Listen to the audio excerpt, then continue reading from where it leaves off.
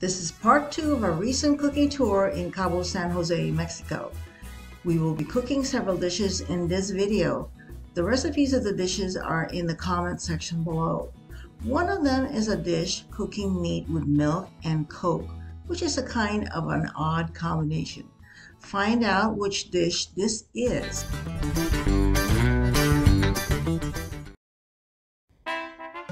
In part one of the cooking tour video, we started out with a trip to the market to buy and learn how to choose the freshest ingredients. We stopped at the meat market and also our tortilla factory where they make their tortillas.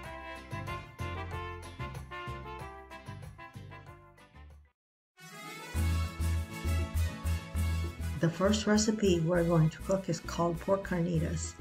The meat, onions, garlic, and salt are placed in a big pot and water to boil until tender. Here they cooked it in their outside cooking area, which is their auxiliary kitchen. We call that dirty kitchen because it's outside. yeah. Okay, so we start uh, the, the meat in the lard.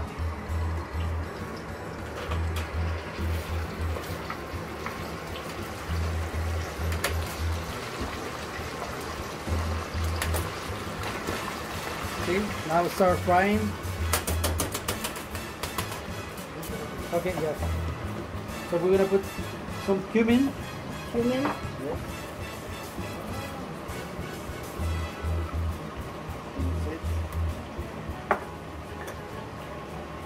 Is it uh, bay leaf?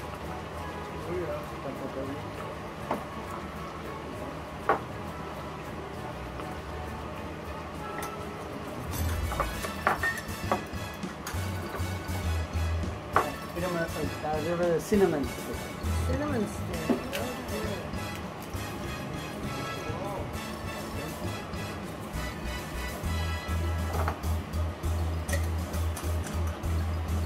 okay. Then we're gonna squeeze a half an orange in it. See, you will see is this. So when you put liquid in lard, doesn't splash. See, like like a oil, oil This Water. Yes. Water and oil. Mhm. Not orange and oil. Oh, you put the lime, the whole thing. Everything. Huh? Okay.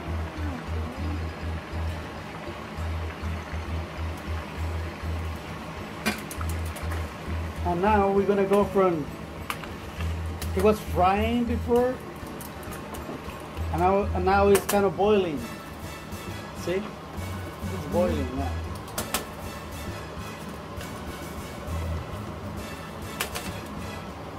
Now, what is this called again? Carnitas. Carnitas. Carnitas. Carnitas. Pork, pork carnitas. See? So you're gonna put milk, about half a cup, Mm-hmm. Yes. half a cup, and what does it do now? Uh, it's gonna help to soften the meat, so to get it tender. Oh, To get more Tenderized. tender. That's Coca-Cola? See, That one's this one's slow. gonna go after we the, the, the milk evaporates. We're gonna add the Coca-Cola. Coca-Cola is gonna give us the uh, the caramelized on top of the around the, sugar. the yes the sugar around the the meat on, a, on a dark color. Milk is added. Whoa. See, boiling again. So as soon as the the milk evaporates, we're gonna add the, the Coca-Cola.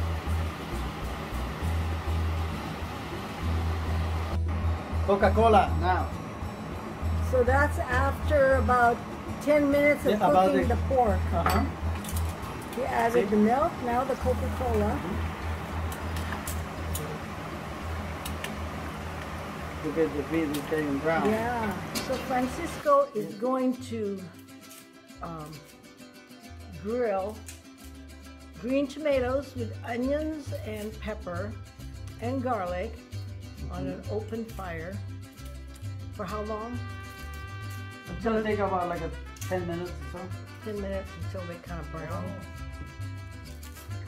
And that's going to be used for Uh, salsa verde. salsa verde. They're both gonna be salsa verde. But this one is gonna called salsa verde tatemada. And this is uh, salsa verde boiled. Oh, boiled and Boiled grilled. and ungrilled. Now which one? So the, the grilled one is going to be the hot one. and the boiled one is going to be Also a hot one. oh a hot one too. okay. Good. All right. I put just one pepper, so it's Okay. we'll see. Okay, vamos. So here on the stove are the two methods of cooking the salsa verde. The green tomatoes, onions, garlic, and pepper are put in a small pot to boil, and the same ingredients are placed on a griddle to cook. At the same time that he is preparing the salsa verde, he is going to start with roasting the poblano in open flame. I just roast it to get it all blister, and then we're gonna uh, put it in a, in a plastic bag, and then we're gonna make a thread. Oh. You scrape off the skin. Yes. Strip out the, the skin, and, uh, and then we're gonna take all the seeds out. We're gonna make strips, and then we're gonna cook it later. Uh, this dish is called rajas de poblano, poblano strips. Very Ra- very tasty. Rajas means Rajas means strips. strips. Right, strips. and poblano is the pepper. Pepper. Oh, it's roasted. No rapido, no hurry. No? So, What do you think, Kimberly? Of your opinion so far? Oh, I love it. It's exciting. I'm learning how to cook Mexican. And can you explain why uh, you do that? Why, why do you um, make the, What? over the open flame like that? so we, we're just uh, doing this with chardon because uh, we're gonna uh, take all the skin off. So we're gonna Makes it- it. Makes it easier. to Make, yeah, makes it yeah to, because uh, we don't want all the skin. The skin is very hard, but we don't want the skin in your mouth. So that's why we're gonna take it off.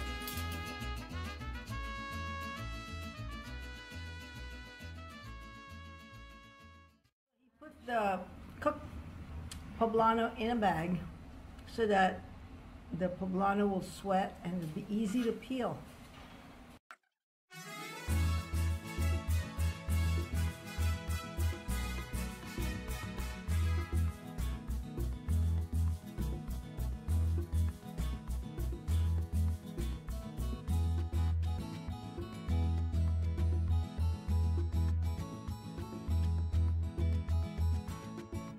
Cut out the stem, cut the pepper in half, and scrape off the seeds. Then cut it in strips and cut it into small slices.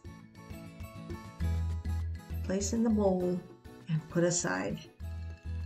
Boil one corn on the cob, and when it is cool enough to handle, proceed to cut the corn off the cob and put it into the bowl with the cut poblano. In a frying pan with hot oil, add the garlic and onions to cook. Cook until they are soft and starts to caramelize. The onions and the garlic.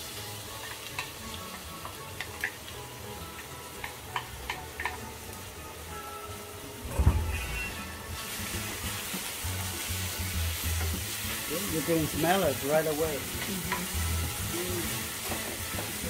smells so good. So here is the poblano that was roasted with corn. This, okay? Okay.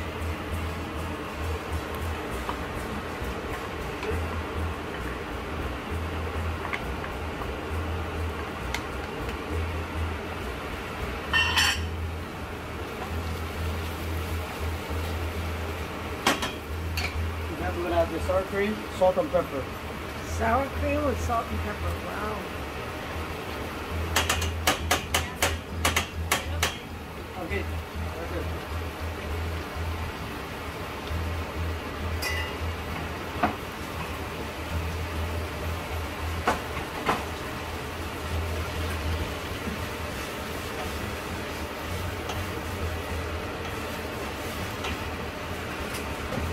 And how long do you cook that? This just until it gets everything uh, warm, uh, hot, and that's it. That's it. Is it already go? It's already, yeah, it's already cooked. Everything it's already cooked. If you are interested in trying out these dishes, the recipes are in the comment section below. Okay, so now we're gonna make the uh, the salsa right here. So we, uh, this is the salsa tatemada. Onions, garlic, and pepper.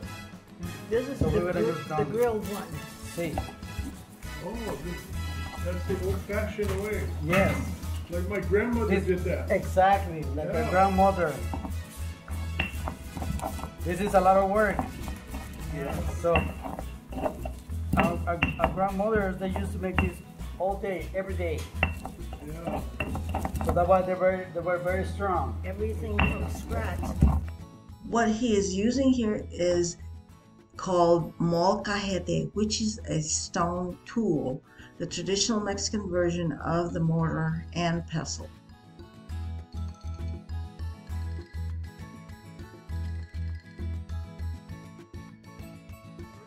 Yeah. That's what it looks like. The grilled tomatillos Yeah, that, that is here. goes into the mol mm.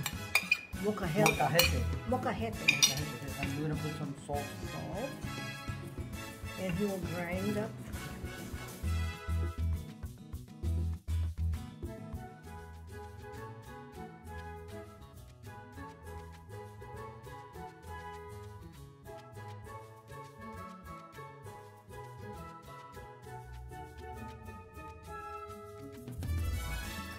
The difference in color.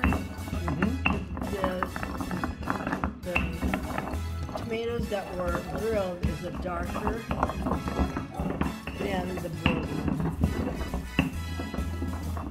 But which ones will, which one of these will taste better? That's the question, right? Yeah, that's a big question. Quality Control. control. Yeah. Very good. good. Okay. Just perfect. Okay. There you go. So I'm gonna do quality control with the roasted Yeah, it's good. tomatillo. Tasty. And it's hot. Oh. So with this one, we're gonna just let it cool down, and then we're gonna add the onions and cilantro fresh. Okay, so she put it in a blender and blended the boiled one, Yeah. right? And then she will add And then we're gonna add this later when Onions. it when it cool down. when it cools down. Okay. Salsa that we're gonna use for the tortillas. This is just corn and water. That's it. Nothing else.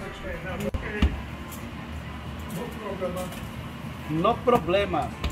Never problema.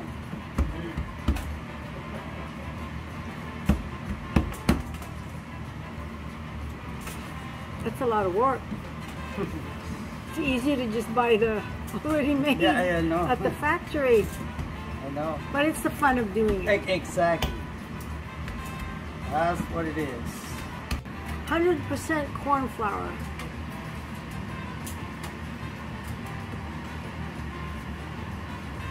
We're gonna make like a little balls, like a both bowl size. Mm-hmm. Kind And later we'll play golf.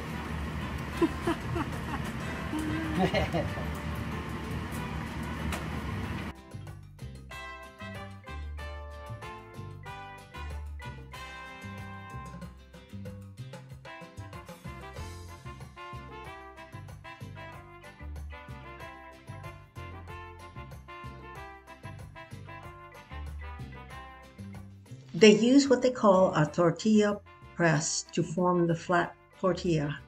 Then it is placed on a griddle to cook for a few minutes.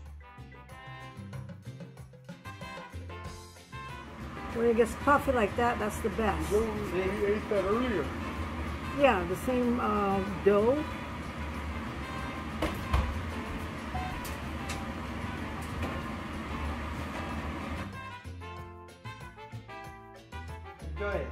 Thank Oh, you. and don't forget your. Are you gonna join? No. Yeah, I- I'm gonna do a, a little quality control.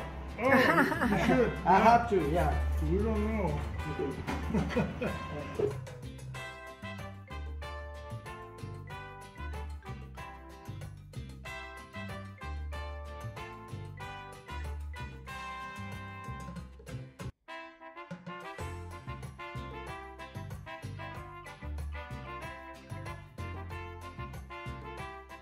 Thanks to Francisco and his team, we had a great time learning to cook and eating the local food. In the comments below are recipes of the dishes we just cooked. These are recipes passed down from his mother. I hope to be able to bring you more cooking videos in future, but for now, so long. Pico de gallo, guacamole. Can't eat that much, but I want to try everything. Okay. Okay, I have some. Mm, You gotta try this. Oh, see, so flavorful. Natural flavor. jalapeno in this Very one or no? No, no, just uh, the